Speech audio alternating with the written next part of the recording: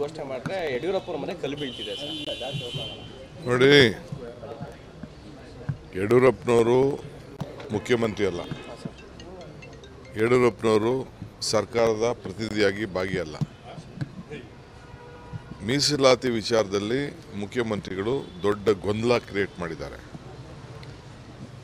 ಈಗ ಯಡಿಯೂರಪ್ಪನವ್ರನ್ನ ತಿರ್ಗಾ ವಾಪಸ್ಸು ಸೆಂಟ್ರಲ್ ಸ್ಟೇಜ್ ತರಬೇಕು ಅಂತೇಳಿ home minister central home minister ಈಗಾಗಲೇ ಅವರು ಅವರ ಲೀಡರ್ಶಿಪ್ಗೆ ನಾವು ನೆಗ್ಲೆಕ್ಟ್ ಮಾಡಿದ್ದು ನಿಜ ಅಂತೇಳಿ ಒಪ್ಕೊಂಡು ಅವ್ರ ಮನೆಗೆ ಹೋಗಿ ಬ್ರೇಕ್ಫಾಸ್ಟ್ ಮಾಡಿ, ಅವ್ರಿಗೆಲ್ಲ ಬೆಂತಟ್ಟಿ ಅವ್ರ ಮೇಲೆಲ್ಲ ಕೆಲವರೆಲ್ಲ ಬೇಕಾದಷ್ಟೆಲ್ಲ ಇಂಟರ್ನಲ್ ಇದೆ.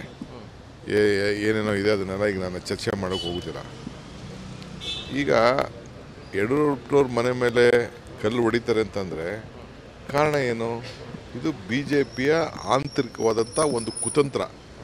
ಯಡಿಯೂರಪ್ಪನವ್ರನ್ನ ಮುಗಿಸ್ಬೇಕು ಅಂತೇಳಿ ರಾಜಕೀಯವಾಗಿ ಮುಗಿಸ್ಬೇಕು.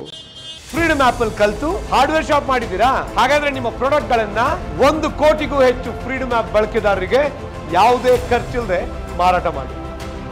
ಅಂಥೇಳಿ ಹೇಳಿ ಬೇಕು ಅಂತ ಅವ್ರ ಮನೆ ಮೇಲೆ ಮುಖ್ಯಮಂತ್ರಿ ಮನೆ ಮೇಲೆ ಕಲ್ಲು ಹೊಡೆದಿದ್ರೆ ಅದೊಂಥರ ಓಕೆ ಫೈನ್ ಇಲ್ಲ ಇನ್ಯಾರೊಬ್ರು ಅಧಿಕಾರದಲ್ಲಿ ಅಧಿಕಾರದಲ್ಲಿ ಇರೋರ ಮೇಲೆ ಕಲ್ಲು ಹೊಡೆಯೋದು ಆಕ್ರೋಶ ವ್ಯಕ್ತಪಡಿಸೋದು ಇರ್ತದೆ ಯಡಿಯೂರಪ್ಪನವ್ರ ಮೇಲೆ ಮಾಡ್ತಾರೆ ಅಂತಂದರೆ ಇದು ಇಂಟರ್ನಲ್ ಫೈಟ್ ಬಿ ಜೆ ಪಿಲಿ ಆಂತರಿಕವಾಗಿ ಯಾರಿಗೂ ಸಮಾಧಾನ ಇಲ್ಲ.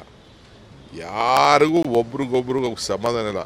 ಅದಕ್ಕೆ ಬೆಳಗ್ಗೆ ಸಾಯಂಕಾಲ ಡೆಲ್ಲಿಯಿಂದ ನ್ಯಾಷನಲ್ ಲೀಡರ್ಗಳು ಬಂದು ಕೂತ್ಕೊಂಡು ಎಲ್ಲರಿಗೂ ಕಡಿವಾಣ ಹಾಕಿ, ಎಲ್ಲರಿಗೂ ಎದುರಿಸಿ, ಬೆದರಿಸಿ, ರೈಟು ಹೋಗಬೇಡ, ಲೆಫ್ಟು ಹೋಗಬೇಡ, ಯಾರಿಗೂ ಫೋನಲ್ಲೂ ಮಾತಾಡಬೇಡ ಅಂತ ಎಲ್ಲ ಫೋನ್ಗಳ್ನು ಕಿತ್ಕೊಂಡು ಬಹಳ ಅಚ್ಚುಕಟ್ಟಾಗಿ ನಡೆಸ್ತಾ ಇದ್ದಾರೆ. ಫ್ರೀಡಮ್ ಆಪ್ ಅಲ್ಲಿ ಕಲ್ತು ಹಾರ್ಡ್ವೇರ್ ಶಾಪ್ ಮಾಡಿದ್ದೀರಾ? ಹಾಗಾದ್ರೆ ನಿಮ್ಮ ಪ್ರಾಡಕ್ಟ್ ಗಳನ್ನ ಒಂದು ಕೋಟಿಗೂ ಹೆಚ್ಚು ಫ್ರೀಡಮ್ ಆಪ್ ಬಳಕೆದಾರರಿಗೆ ಯಾವುದೇ ಖರ್ಚಿಲ್ಲದೆ ಮಾರಾಟ ಮಾಡಿ.